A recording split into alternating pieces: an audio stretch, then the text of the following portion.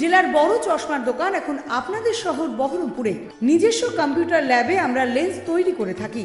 আমাদের ঠিকানা বহরমপুর সুশ্রুত আই হসপিটালের ঠিক পাশে, রাস্তার ডান দিকে এভারেস্ট অপটিক্যালে আপনাদের জানায় সাদর আমন্ত্রণ। ভাষা শহীদ আবুল বরকাতের গ্রামে বোমায় আক্রান্ত দুই শিশু। পাড়াতে খেলার সময় কৌটো ভেবে বোমা হাতে নিয়ে বিস্ফোরণের জেরে গুরুতর জখম হলো দুই শিশু।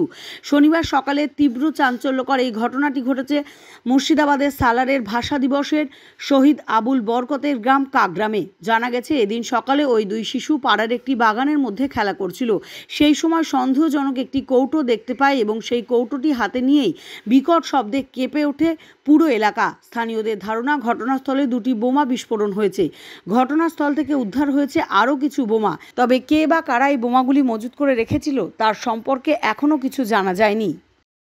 তো ভিতর ছিল এই যে একটা পঞ্চায়েত ভোটের এতে মানুষ এখানে ওখানে বোমা রেখে এই যে রেখে দিয়েছিল এরপর এই- এই বাচ্চা হচ্ছে এরপরে আরও কোনো বাচ্চার হচ্ছে পারে।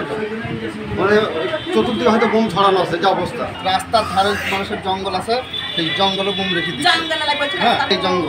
এই বুম- রাখা ছিল। হ্যাঁ ঠিক আছে। তাহলে আজকে পরিস্থিতি যদি এই ছেলে দুটো আজকে না হলে বেশি ধরনের খামে যেত তাহলে কী অবস্থা থাকবে ছেলেগুলো থাকতাম আমরা হ্যাঁ? তাহলে আপনারা কি চাইছেন?